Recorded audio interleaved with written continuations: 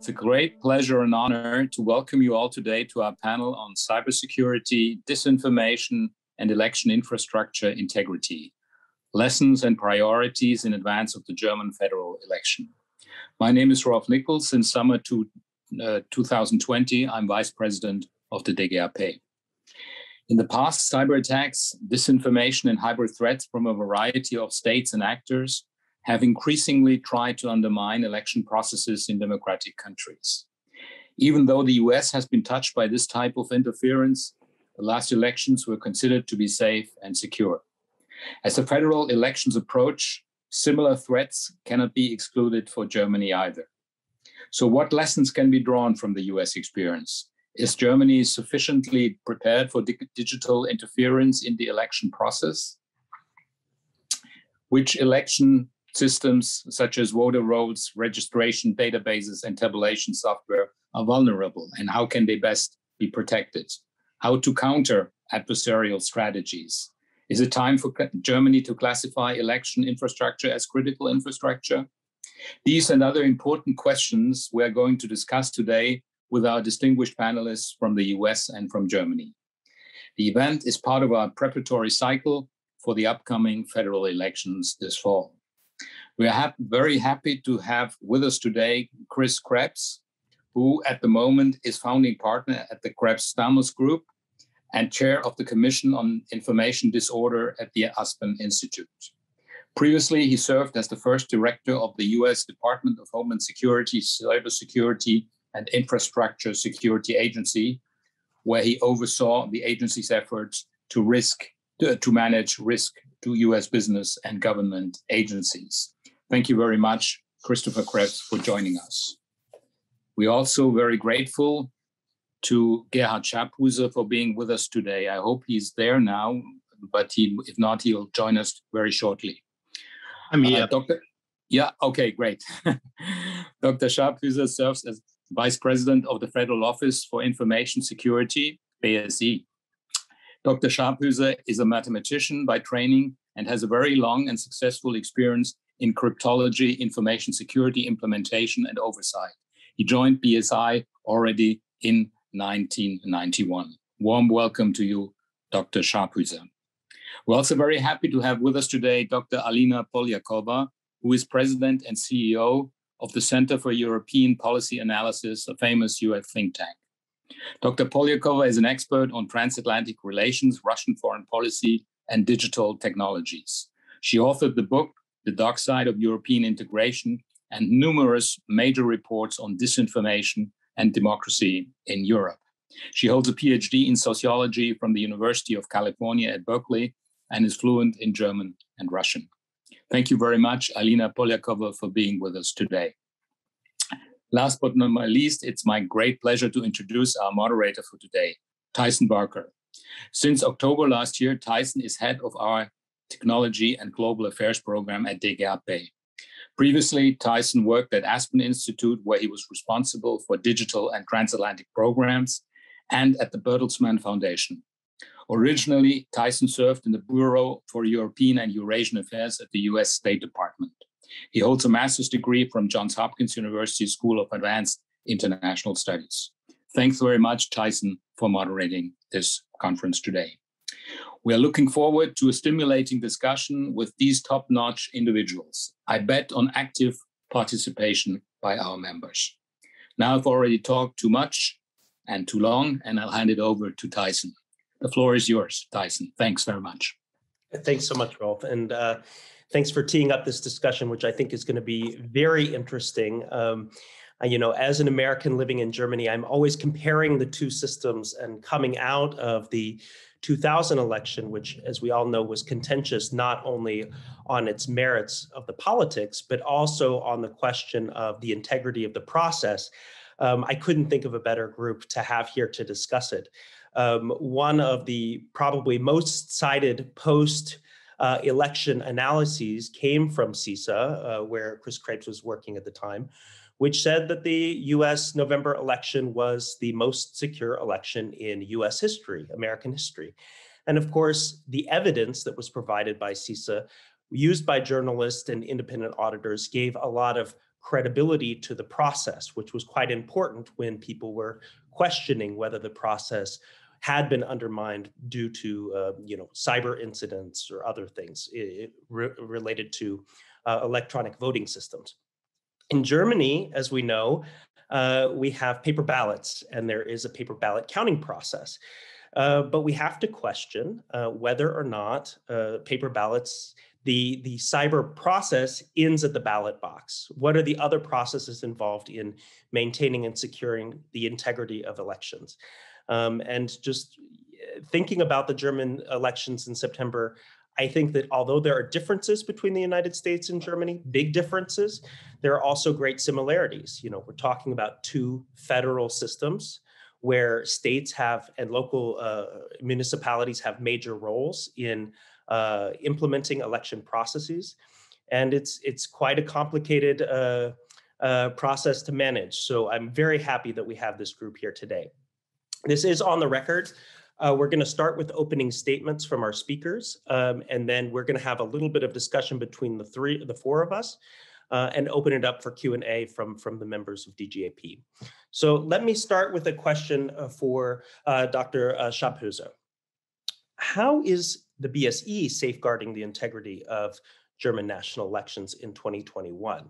What has changed since 2017 and what are the lessons that could be learned from the 2020 US elections and even the 2021 Dutch elections? So let me give the floor to you. Thank you very much for having the opportunity to say something about the security of the elections in Germany. As you might know, in Germany, we will have nearly a dozen elections until the end of 2022. Mm. So the federal election in September and many state level elections, two of which took already place in on the 14th of March. Therefore, the cybersecurity of election is currently a very important topic for BSI. As you mentioned, in Germany, we typically typically have paper-based elections. So it sounds quite easy, no cyber threats available for the core process, for instance. But that's not the real truth afterwards. Of course, mm, the, um, the process of voting is paper-based, and uh, as it is counted by humans, the numbers of um, who is winning. But then the process starts of um, putting it all together. So it has to be transmitted for, from the local area to, to the stronger, uh, the higher hierarchy, next level, and so on until we come up by the federal returning officer who has to put it all together. And this is quite different in the different states. For instance, in small states like um, the Saarland, really small, um, or some um, city states, uh, which we also have, it's more or less a process of I have a phone call to the next level. I know him personally. Authentication will be done by speaker recognition, and in parallel, we do not do have something like SMS um, processes and so on, up to processes where it's a real digital process afterwards. And it is not a central tiered process of how it's done in the local world, mm-hmm. so in the states and uh, countries. This is, on the one hand side, sounds a little bit tricky, but on the other side, already in the last um, federal um, elections, BSI gave up a um, set of requirements which have to be fulfilled to, to get the integrity in place. We changed it a little bit and strengthened it um, in the sense that we now have a more or less comprehensive um, document where the relevant aspects which have to be solved uh, are present. It's more or less based on on ISO 20007, mm, and the, the uh, implementation is done by a German BSI Grundschutz, so baseline protection process of BSI. Mm.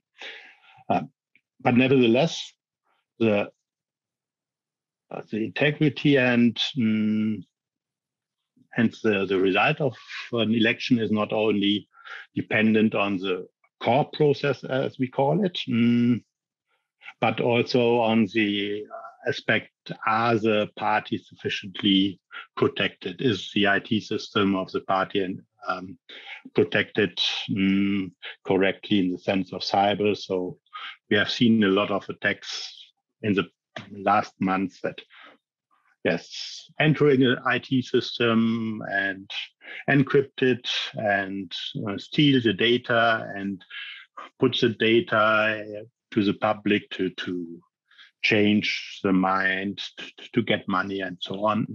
In that arena, we are active to protect uh, the, core players in the election process, like the parties, the, the important um, candidates, and the think tanks which are relevant to do um, mind setting and so on. Um, we did it in several states of in uh, levels of intensive intensity, mm, namely assisting the federal returning officer. Of course, yes, we are in this uh, present at the election day with liaison officers to support them if there is an actual crisis or so putting in the machinery of BSI to handle incidents if something happens. And we gave up uh, process in the sense of yes, what do you do personally as a candidate to secure your social accounts and so on? That is not that easy to, to jump in.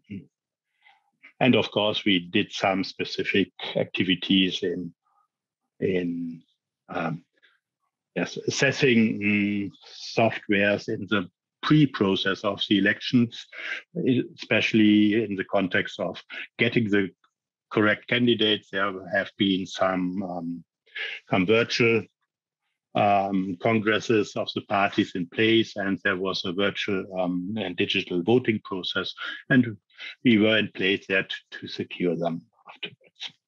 Speaking about secure elections, um, I think I can conclude with a very short and short reference to the increasingly important fields of hybrid threats and helpful measures. The BSI pursue an all hazard approach. This means that no matter what kind of attack happened, we in, initially respond the best way we can with all possible methods. A good protection against cybercrime, even protect against hybrid threats and other way around. It's so easy. An advanced level of cyber security in any form helps to secure the elections. Therefore, our usual task supports also the election process. Thank you for your attention. Uh, thank you so much, uh, Dr. Schabhüser. Um, I think that you've mentioned a lot of things that I think would rhyme with the US uh, process. Uh, even if the core function, as you said, is paper ballots across the board, there are lots of differences across states and a lot of uh, you know ancillary processes that also need to be uh, secured in order to guarantee election integrity. Um, Chris Krebs, you had a frontline seat. You actually were in the driver's seat to provide a lot of that uh, certification of the integrity of US elections. Um, what were some of the lessons coming out of last year's experience, and are, what do you think would be most relevant for, for Germany and Europe? Thank you, Tyson, and uh, good afternoon, everyone. Great to be here. Uh, I actually would start with our assessment of 2016. The 2016, the intelligence community in the United States released a report that um, that reviewed the Russian interference efforts in the 2016 election. And it essentially boiled down their attack to three, three different vectors. The first was attempts to compromise election inter, uh, infrastructure, election systems, election equipment.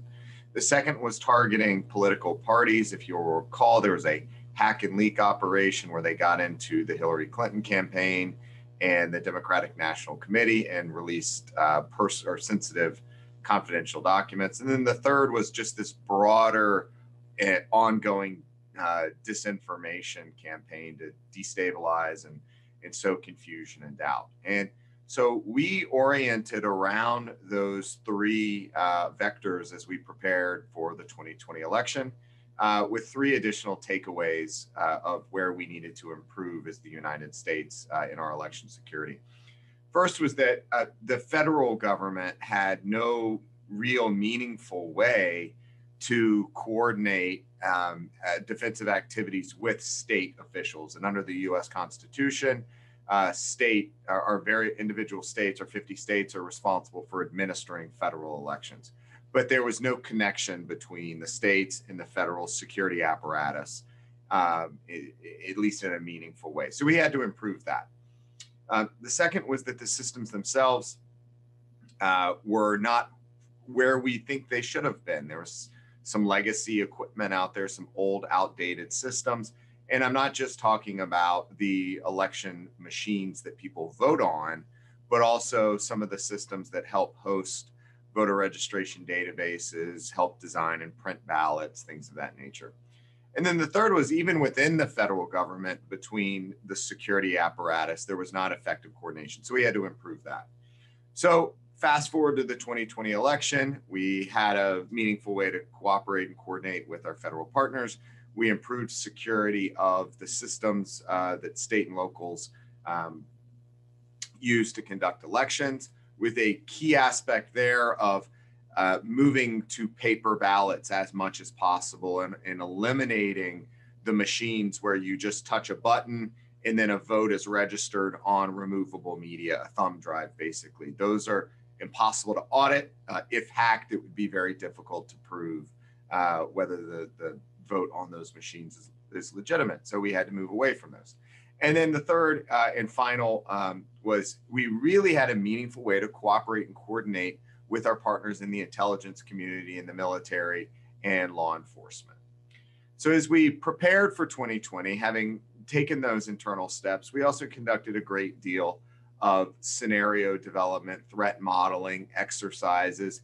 And ultimately, what it came down to was the, the risks, the scenarios that we were concerned about were not as much on the edge or at the day of voting. It was more about targeting of election uh, uh, voter registration systems. A potential ransomware attack, for instance, in the months running up to an election could be highly disruptive if you locked up the state level voter registration files.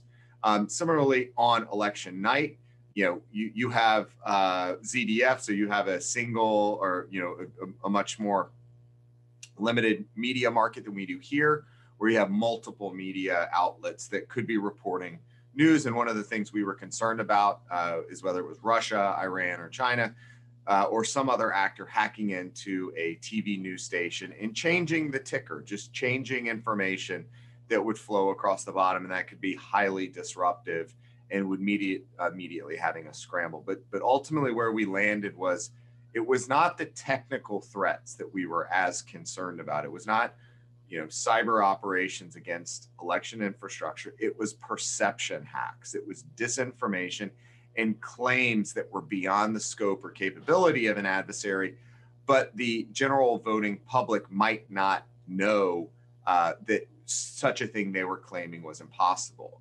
That's what we were worried about. And that's what happened. that's what happened here in the United States in the 2020 election, where we had disinformation campaigns, domestic in origin, amplified internationally, particularly by Russian outlets, uh, that alleged that a foreign power had interfered with the election. And those claims continue to this day. And we have a number of, I have a number of observations of going forward, uh, what needs to be done to improve transparency in elections, to increase trust in elections. It begins with paper, so you you have that, which is which is always a good thing because you can go back and check the vote. The second is you need an authoritative, incredible knowledge base of elections and how they work. The third is that you have to communicate to the public and increase transparency in the electoral process. The voters need to understand and you have to demystify the election process. And then the fourth is you have to have a quick reaction force. What's happening is our adversaries are hitting the gaps. They're not as much uh, targeting us with technical, tactical measures. They're hitting us in between with disinformation and active measures. Germany has been the, at the forefront of active measures campaigns by, num- by a number of different governments for a century. And this is the sort of thing that you have uh, internal capacity that you need to focus on and you need to elevate uh, the quick reaction capability. So just some real quick uh, takeaways, Tyson, from, from 2020. Thanks so much, Chris. There's a lot uh, to work with there. And I'm really uh, excited to bounce the ball also back to BSI and see how they're dealing with some of these questions, because I could imagine them coming up beyond the ballot box. Uh, but first, I want to go to Alina. You are somebody who has worked at the nexus of technology and democracy on both sides of the Atlantic. Uh, what are some observations, trends that you see in the kind of uh, integrity, democracy integrity and technology space that you think would be relevant for uh, Germany in 2021? Well, thanks so much, Tyson. Good afternoon, everyone, or good morning to anyone who's joining from uh, the United States, like I am. You know, I think Chris put out a lot of the points I was going to make, uh, so I will just uh, put a pin in some of the uh, some of the issues that he already brought up. Um, I think one an issue that we see as pervasive across the democratic space, certainly in Europe and the United States, um, is a lack of a whole systems view from our own governments. And Chris already touched on this uh, quite effectively, but I think there's a few ways in which there's similarities between the United States and Germany and the lack of internal coordination that we're still seeing within the federal agencies. So we tend to have a siloed perception of hard cybersecurity threats, as Chris was saying, and we tend to parse that out from information threats, meaning disinformation and other types of information influence ops.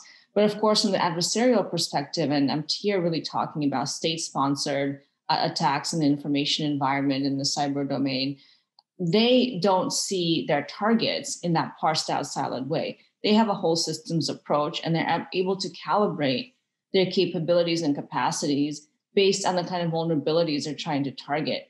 And I think we have actually uh, spent too much time in some ways focusing elections. Don't get me wrong, elections are a critical and incredibly important event in any democratic society. But these kinds of operations, as Chris rightfully said, don't stop when we stop going to the ballot box um, in, in Germany or the United States it's this constant drip and we're living in a, in a society now where we're not going to be rid of information influence operations because they are primarily now domestically domestic in origin. Uh, they're not uh, primarily coming from uh, russia or china. And frankly we don't have a way to really see that proportion of how much is domestic how much is foreign because so much of it's happening on private social media platforms. But i think one thing that um, I have taken away from following what certainly the Russian operations have been in the United States and what they've done in other places um, on the front line, like Ukraine, like the Baltic states, like Georgia, and what they've been doing increasingly moving westwards um, in Europe as well, um, is that they're very good at knowing where where our attention is and where our attention isn't. I'll, I'll bring one example from the recent U.S. experience, which is, of course, we are focused so um, much on the 2020 elections as we should have been. And those were secure, as Chris rightfully said. And CISA uh, gets a huge amount of credit for not just the securing the elections themselves from a hard security perspective, but from a communications perspective as well, from the messaging point. But at the same time, now then we learned that we had the SolarWinds breach going on the entire time for months ahead of the elections. And perhaps we would have become more aware of that if we had been looking at the whole system versus focusing on elections. So my point is that um, yes, elections are important, but we need to understand how we can day in, day out, coordinate internally between the federal government agencies, also working closely with private sector companies and messaging to citizens. Um, I think one place where in the US we're making progress is in the coordination between the information operations, which oddly enough have been carried out primarily by the I mean the counter information operations space. Oddly enough, have been carried out by the State Department. A lot of the funding from Congress has gone to the Global Engagement Center, which is in the Public Diplomacy Division of the U.S. State Department. And when you think about protecting the homeland, it doesn't make much sense. Um, DHS uh, certainly should have had the mandate from the very beginning to counter domestic threats in the disinformation space, uh, but did not. Um, I think we have now increasing threats in the cyber domain, including on the infrastructures in the infrastructure space. And I think we'll talk about the recent uh, colonial pipeline hack uh, here uh, as we progress. But we still, I don't see externally speaking, maybe it's happening internally, but I don't see who really owns this problem, the big problem of non kinetic asymmetric threats and how we respond.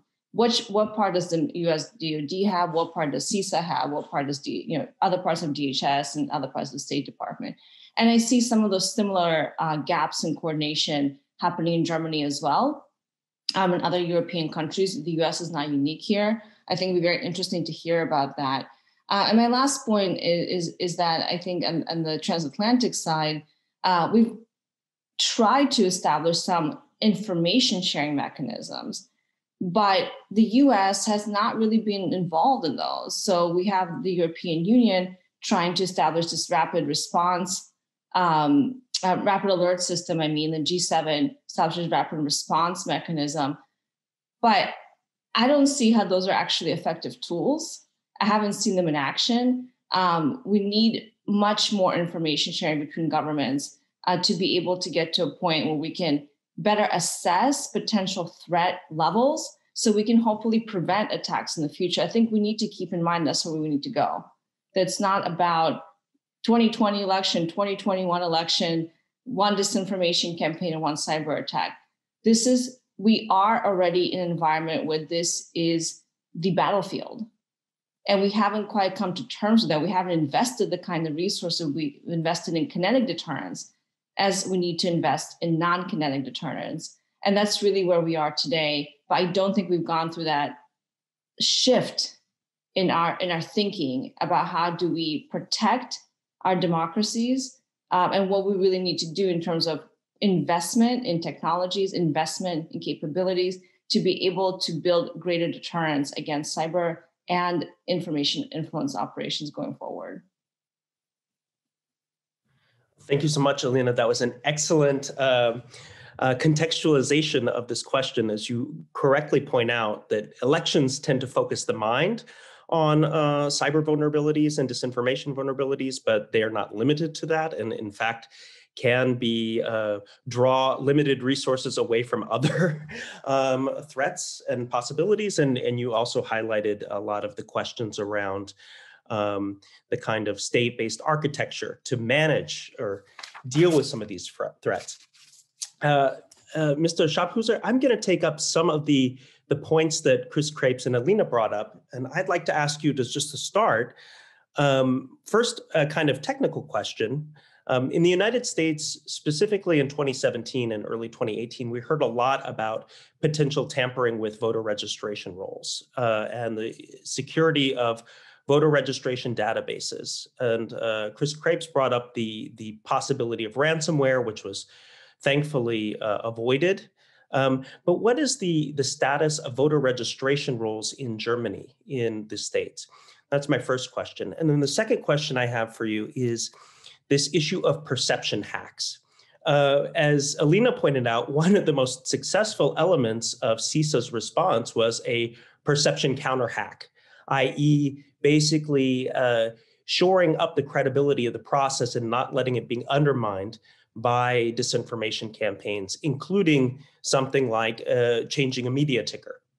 How is uh, BSI working to create perception counter hacks for the September election here? Okay, let me try to come up with a registration process for the election. That is quite easy in Germany because we have an um, citizen mm, record who is citizen in Germany, and every citizen who is older than 18 mm, is available, uh, has the right to, to to vote in our election process. So we do not have a registration process for that. Mm. We don't have the need for that. The process of getting informed uh, that um, that you are on the list, uh, you are um, have the right to vote, is sent by classical snail mail. Mm, so you get get a letter where you is stated yes you are um, a potential voter and you have to go to that point to do your work and um, um, you we you aren't allowed to go anywhere for, for the election process. You have to go to a specific site where a paper-based lists of election for, for, for getting registered. Yes, I, you, I gave up my vote afterwards. Of course, there is a cyber aspect in that that aspect because uh, creation of the documents and so on will be done in the administration via electronic tools mm, and so on and uh, therefore it's very important to have high information assurance level in the different um, in the local government mm, infrastructures afterwards. Mm. Um, Fortunately, nothing happened till now in that process, but I fear that um, so 100% uh, security will not be available. And my one of my uh, fears is that shortly before the process of creating those lists starts, a ransomware attack happens to those systems. Mm, and then it could be a hard job to get it in time in place afterwards. Um, so, so it's. I think we have uh, not the best level of cybersecurity within our administration. Depends a little bit on on the states afterwards, but uh, fortunately, we haven't seen ransomware attacks um, in the local governments, and that especially not in the federal government. Mm, for the federal government, it's quite easy. I know the status quite well due to the fact that BSI is responsible to do the monitoring there. Therefore, we know what happens there. For your second um, question, um, what do we do in doing something like perception hacks. Probably you have to give me some more minutes to think about, and probably I will come back to the question in in the next round of uh, questions. It's better to have. I have to think about what we do in that arena. Happy to. Um, let me take up this issue of ransomware that you mentioned. That it doesn't seem like it has been a frequent occurrence with uh, state and local governments in uh, Germany yet, uh, but it of course is occurring with in increasing frequency in the United States. Um, Chris, uh, if you were to advise the German government on, you know, uh, threats on the horizon that they should watch for, um, how would ransomware fit into that, and what are some other uh, issues that you would raise? Well, it, certainly from a United States perspective, I have considered ransomware as um, probably the the most underappreciated threat over the last five years. I'll say, um, and, and the reason I say that is because it has typically and historically been viewed as a law enforcement matter, a criminal matter. It started out small. We're talking targeting single individuals uh, and demanding hundreds of dollars in Bitcoin, uh, but it is now transformed into a successful global criminal enterprise with uh, millions, if not tens of millions of dollars in in uh, ransom demands. And what we saw with Colonial Pipeline here in the United States was that a ransomware event could turn into a truly uh, disruptive, disruptive and potentially destructive attack that can uh, target and affect the economy. I, I, am in I'm in the Washington D.C. area, and uh, there are still gas stations in my neighborhood that do not have gas supply, and you know some people have run out of gas because of a criminal attack. Um, so I, you know the the conditions that have led us to this place with ransomware are, I think, threefold. First is that we, at least in the United States, with a number of our private sector companies as well as our state and local government uh, government agencies, we've not invested enough in keeping modern technologies. So we have legacy, outdated, unsupported technologies, as well as we're just not doing the basics right. And sometimes the basics can be hard. Uh, but even things like multi-factor authentication have not uh, have not been deployed at the scale or scope that I think we, we truly need. The second is the explosion of uh, cryptocurrencies like Bitcoin um, that happen outside of the realm of the traditional regulatory uh, model of, of the economy and finance. Uh, you know, fiat currencies are are very uh, you know generally overseen with anti-money laundering and counterterrorism regulations. Cryptocurrency does not operate in that realm, so we need to do a better job of where cryptocurrency intersects with the traditional economy and the banking regula- regulators that we enforce things like know your customer and other transparency measures. And then the last thing is that we really have to start holding some of these uh, these criminals accountable, as well as the countries that provide them safe harbor. It is no mystery that a number of these ransomware crews operate out of uh, of Russian sovereign space, and uh, you know, for in a certain sense, it makes sense because it develops a cyber strategic force. Uh, it gives the teenagers and 20 year olds something to do that's foreign and brings back a little bit of money. Uh, so there are no idle hands protesting in the streets.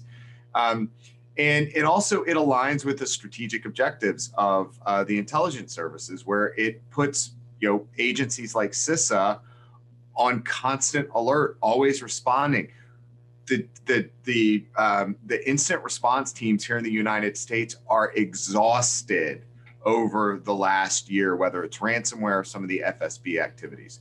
And so I would be looking across that horizon, saying, you know, what is next in Germany in terms of, you know, do we have those same conditions? Are uh, do we not have updated systems? Are we not uh, protecting our systems properly? There, you know, Brenntag Chemical just last week, it was the the U.S subsidiary, but still there are German, there's a German nexus there. But you know, tilt it back over to the prior conversation, disinformation, active measures will continue to work at the seams as we focus on the technical silos, like Alina pointed out. They're going to continue moving like water towards the low spots. And it's in between those areas where we don't have proper uh, uh, federal coordination. And Alina hit it right on the nose the biggest gap here in the United States to counter perception hacks and to counter disinformation is that there is no senior authority that is coordinating a strategic response to disinformation. That is the number one recommendation I have to every national authority and national government is you have to have someone at a cabinet or sub-cabinet level that has clear ownership from a strategic perspective to countering disinformation. Thanks for that, Chris. Um, I'm going to ask one last question to Alina, and then we're going to open it up for questions and comments from our audience. And I know I've looked through the list. We've got some really um, impressive experts here on these topics, including some practitioners. Uh, Alina, you, you, and I have both uh, participated in some NATO workshops on topics around mis and disinformation and active measures. And you pointed out that a lot of times efforts are focused on state backed um, operations. Um, but increasingly, those operations are metastasizing domestically. Um, how do you draw the line between foreign disinformation influence operations and the point where they do start to take on a life of their own within domestic contexts? And how would you, how can we best counter them uh, in a way that respects you know sovereignty democracy uh, and you know the competences of different institutions like nato? Thanks for that uh, easy question tyson. Appreciate it. Um, I, I well let me answer your question directly in just a second. I wanted to go back very quickly to what chris ended his comments with which is um, the need and the critical and urgent need that we now have had for years in all of our countries for someone who has a high level political mandate, a political appoint, appointee in the United States, I think that has to be at, the undersecretary level or above, who's the counter disinformation czar, whatever we call that, it doesn't really matter. Uh, but this has been a recommendation that's been out there for years. Um, and it's just a clear gap. And I hope that this administration sees that and, and moves to do something about it. Um, and that actually leads me to your direct question about how do we draw the line? There is no line. It really doesn't exist anymore. I think we we missed the opportunity to get the low hanging fruit. What what, what low hanging fruit is that you ask? State sponsored info ops are the low hanging fruit uh, because we were able in 2016 to still pinpoint the origins of these operations to a foreign country, to a foreign entity. We're able to attribute. We're we've lost, I think, the capability to do that because they've learned how to get around our detection tools. You know, we're not going to get another uh, IRA based in St. Petersburg anymore. Yes, they're still doing things, but we lost the ability to really see um, in, in, as to what is actually happening. Part of that is, I think, information sharing between uh, private companies, uh, social media platforms in particular, and we need to improve that kind of information sharing with intelligence agencies. And that has been happening, and the companies have been taking, I think, they deserve some credit. They've been taking some significant steps in trying to take down coordinated inauthentic behavior, as they call it. But this is still a whack a mole. And at this point, uh, I don't think we can draw that line. It's gone. It's been gone for a long time. So I think we find ourselves in a situation where, uh, one, we still have tools to impose punitive consequences on state actors who we can attribute operations to. Uh, I think to Chris's point about uh, proxy criminal cyber groups, you know, the relationship between the Russian government and these kinds of uh, criminal cyber hackers goes far deeper than just providing them a safe space and harbor. Uh, they, the, the Russian intelligence agencies recruit from those groups directly.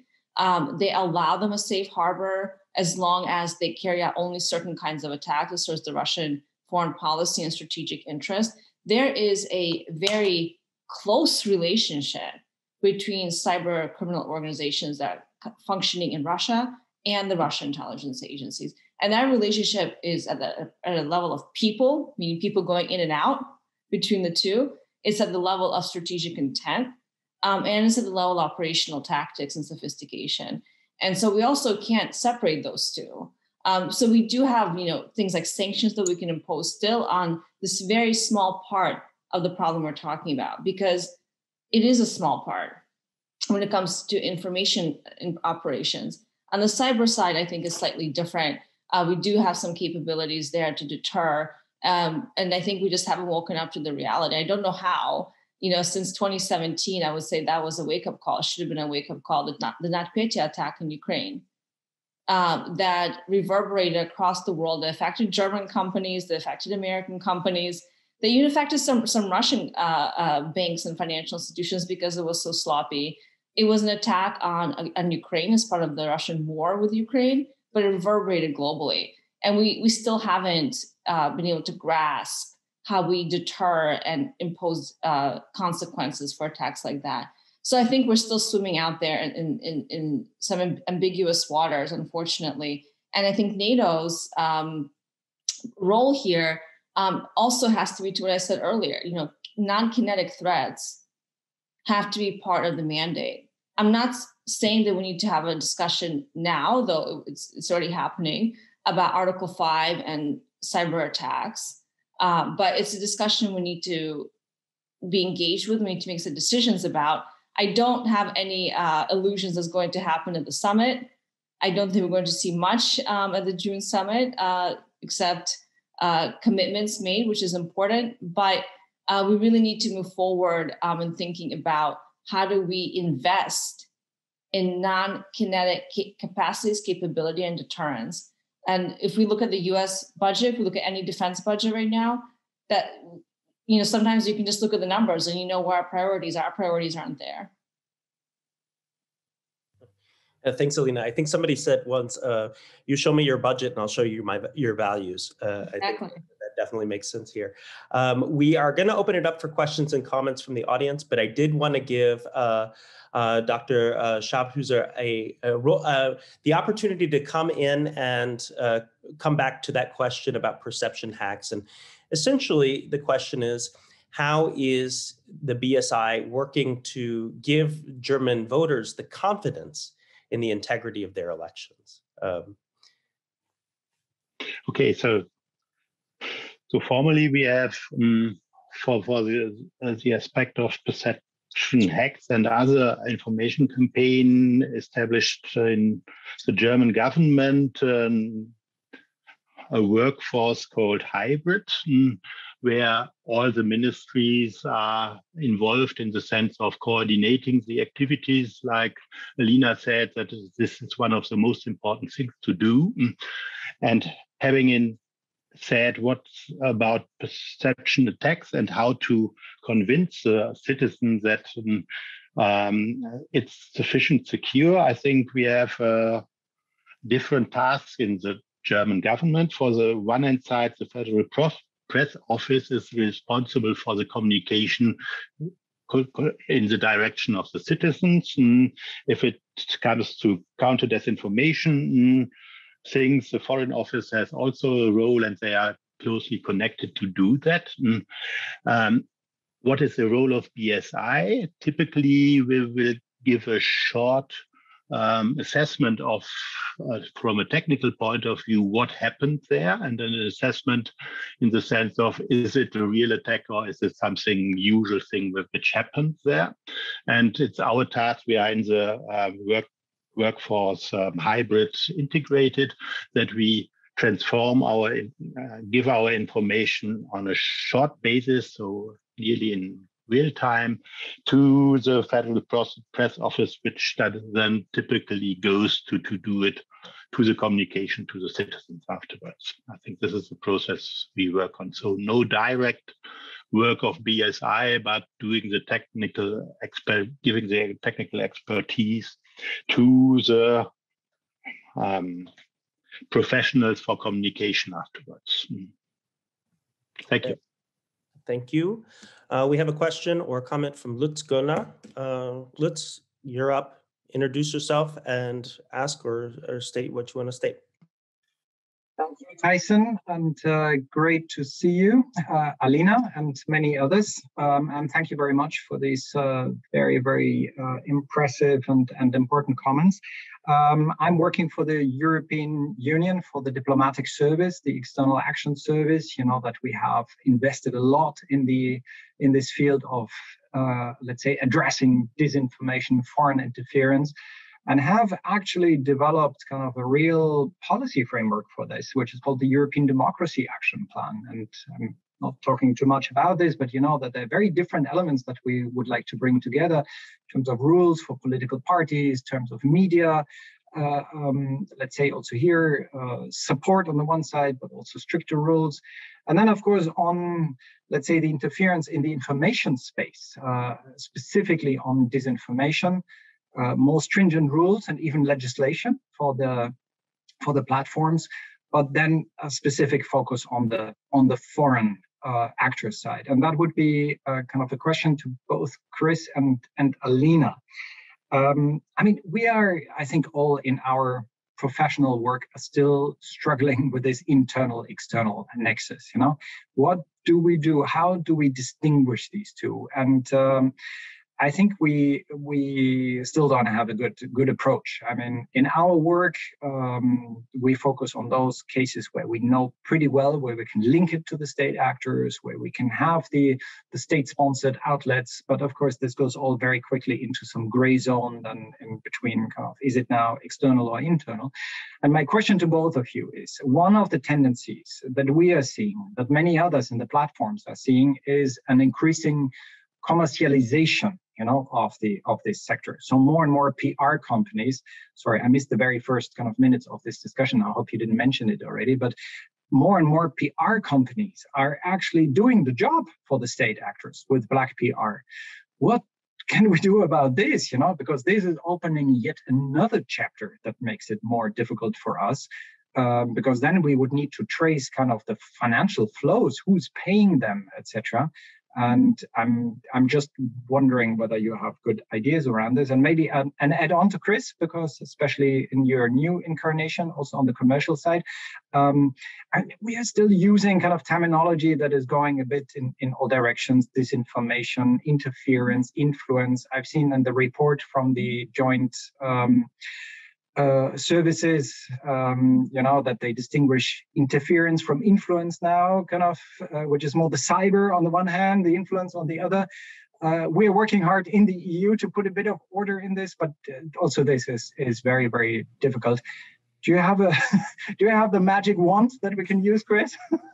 oh.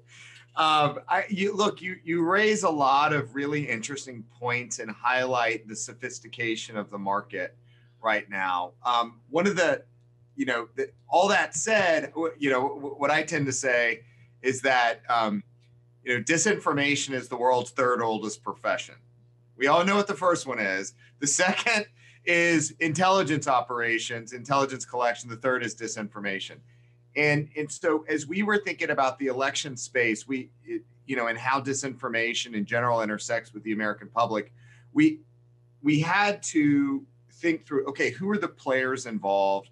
What are the equities? What are the objectives? And so we actually broke it down into a almost a supply and demand approach, where from a supply side, it's always going to be coming in. And so we'll use the intelligence oper, uh, community, the military, uh, uh, the Department of Defense, uh, and the platforms. And so they can go disrupt operations, whether it's Project Lakhta or IRA coming out of St. Petersburg, or whether they've migrated to Ghana or uh, Ukraine or even Mexico, you still you can identify inauthentic, inauthentic coordinated behavior, share it with the platforms, and they can go disrupt. But to the point, that is whack-a-mole because they will always improve. When you put friction into their operations, they'll ditch that style and they'll adjust, and they continue like water flowing into the low points and the gaps. So we focused at CISA at least on demand and it's not eradicating demand because you can't do that, but it's informing and in trying to organically uh, put people in a position where maybe they don't, they're not as receptive or they can reject it. And it's about inoculation. And that was really what was behind the concept of our War on Pineapple awareness campaign from, from a couple years ago, where we took the evolution, the anatomy and pathology of a disinformation campaign in a non-obtrusive way uh, that that people could engage with. So it's whether you know it's a strangely it actually started in Canada, but it's a strangely American thing. Whether you like pineapple on your pizza, I think it's disgusting personally. I don't I don't put fruit on pizza, but nonetheless, it is it is a very binary option. You either like it or you don't. But nonetheless, it's it's about education. It's about building awareness. It's about transparency as well. And that again, when we bring it back to elections, you it, it's if it's a black box, it creates opportunity space for an adversary to insert confusion and doubt. So, to the extent that you can get there before the bad guy, expose through a transparent way the mechanics of how things work, that helps suppress demand. It, it says, oh, you know what? So, when the disinformation comes over and it hits the target, the target's not receptive to it because they understand that's not how things work. So, that's for us, I think we have to put a lot more investment into civics education, digital literacy, uh, in, in, education. And, and unfortunately, though, and this is the caveat, is that there is certainly in the United States, there is a significant population of people um, that voted for the former president. I'm talking tens of millions of people, that it doesn't matter what anyone says they're going to say you're part of the deep state or you're lying. And as long as the former president continues saying that the election was stolen, they are going to believe the election was stolen. They are gone. You will never recover them. So, what we have to focus on now is who are the people that are sitting on the fence, who are, who are wavering, who might fall into that population? How do we keep them from falling into that population? How do we keep others from flowing into, as I call it, the fever swamp? That's the area that we need to focus on. Don't waste time over here. Focus on here. Thanks, Chris. Alina, that was at you too, and then I'm going to give the floor back to uh, Gerhard, and then we'll we'll wrap up. No, I, I am glad that uh, Chris brought up the the pineapple uh, pizza pineapple campaign. I thought that was brilliant. It's what we should have been doing all along. Um, it's very clear that appealing to people's you know basic emotions like humor um, is very key, and I think we've been very cautious. You know, governments, especially the U.S. government, the state the State Department, uh, are very cautious in how they use humor because it could be misinterpreted in different contexts. I remember having this conversation in 2015 in Washington before uh, obviously the Russian interference in the 2016 elections came to light, uh, where uh, you know there wasn't much of an understanding of how uh, to use these kinds of tools. Nobody cared too much about it at the time, and so I think we thought that disinformation and Lutz, I agree with you. We're still in that back and forth and definitions. Um, we could have another another session about that. Uh, but it seems like we most people understand disinformation to basically mean the same thing, which is the intentional spread of misleading uh, information. Um, but that is to say that you know early on we thought in the in the U.S. and I think in, in Germany and other Western uh, European countries that this was something that happened far away. This was something that happened in places like Ukraine and places like Estonia and, and elsewhere that we didn't have to worry about so much because we were so resilient that of course we would not uh, be targets and victims. Of course, now uh, you know six years later, I think we've all learned otherwise. Um, I do think there's uh, a difference between where Germany and the United States is when it comes to some of the long-term resilience uh, questions that that Chris brought up. Um, I think Germany is in a much better position um, in terms of civic education, digital skills, uh, literacy, for one particular reason, which is the public education system, which in the United States, we have a very fractured, very localized um, educational system up to the post secondary level. Uh, the idea of having a federal curriculum is a non starter, I think, um, because we have so many private school, charter schools, et cetera. But I think Germany is in a very good place. And I'll just say one very quick thing. I was actually in Germany right before the pandemic, um, and I met with teachers in Nordrhein Westfalen um, and they came to me, and it was, it was really kind of strange discussions about four or five teachers uh, from a, I think a gymnasium and a few other and then in another school in Nordrhein Westfalen, and they basically said to me, "Look, we're being asked to develop digital media literacy curricula, but no one taught us what that is." And so we have, you know, the state asking us to teach our students but we don't know. And I'm a math teacher, you know, I'm a, I'm a science teacher, and a student comes to me and says, How do I know something is a fact? And I don't know how to answer that question. So I think we're talking about, um, you know, uh, an approach that has to take into account the messengers, right? And the t- teachers are still quite trusted, they can across many societies, certainly in Germany, but they also need the kinds of tools to be able to do what we're asking them to do. Thanks, Alina. Um, final word to uh, Dr. Uh. Thanks, Alina, for saying that our uh, education system and school system is quite good. But you mentioned really an important point. And I think digitization and education is in Germany not that mature as it should be, because um, as Chris said it's very important to get the citizen aware of techniques of this, how disinformation and digitization can work. What is the um, um, methods how I can check whether something is a fact or not a fact to get a second assessment to that things and so on. Mm. And and as you mentioned, the, the teachers, yes, indeed, I think the um, the digitization maturity of our teachers aren't aren't sufficient um, to go in that direction ahead. And I think this is a challenge which we have. Um, um, fortunately, this is one one positive aspect of the of our COVID nineteen mm, pandemic. This, aspect forced us to digitize a lot of in the uh, also in the um, education arena that doesn't work really good but it is what was more or less a wake-up call hey we have to do something there and this i hope this will help us in the um, in getting a more higher maturity level in the context of, yes, uh, digitization and assessment of threats and opportunities for our citizens afterwards. Thank you. Uh, thank you so much, Dr. Uh. You bring up a point uh, that I think that the Germans are very interested in, which is digital IDs uh, and their use with public administration, which of course is going to bring lots of new opportunities, but also new threat vectors as well. So this conversation will definitely continue. Um, thank you to all three of our speakers, Chris Krebs, uh, Alina Polyakova, and uh, Gerhard uh, Schabhüser. Um, I really appreciate this discussion. I personally am a fan of pineapple pizza, but uh, clearly this is a topic that we will uh, stick with that and cybersecurity with the elections.